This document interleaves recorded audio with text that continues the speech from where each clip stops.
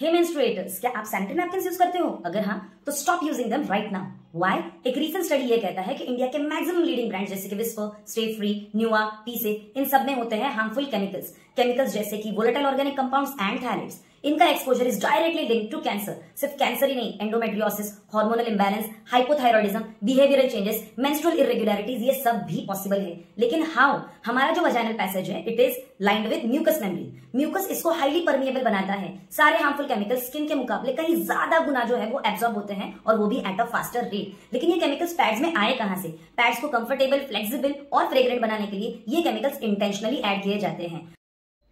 Alternatively हम menstrual cups या फिर कॉटन पैड्स यूज़ कर सकते हैं। साइंटिस्ट ने इसके बारे में अब तक कोई ओपिनियन नहीं बताया, क्योंकि हमारे पास इतना रिसर्च ही नहीं है कि ये हंड्रेड परसेंट सेफ़ है, ये कमिट कर सके। आपके इसके बारे में क्या राय है, ये ज़रूर मुझे कॉमेंट सेक्शन में बताइएगा। वीडियो अच्छा लगा हो तो लाइक शेयर एंड सब्सक्राइब